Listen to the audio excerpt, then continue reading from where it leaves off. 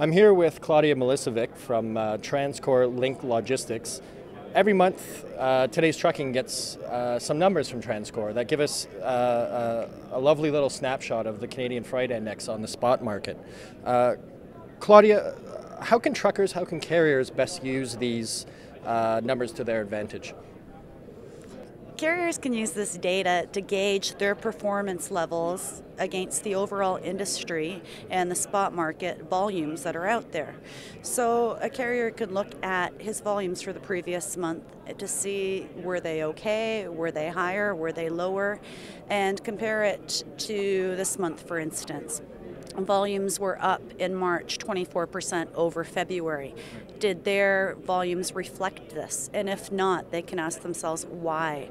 What are they doing wrong? What can they be doing better? And where do they need to improve upon? All right, thank you very much. Thank you. From Truck World 2012, I'm Jason Rhyno. If you'd like more on uh, TransCore Link Logistic numbers, you can go to todaystrucking.com.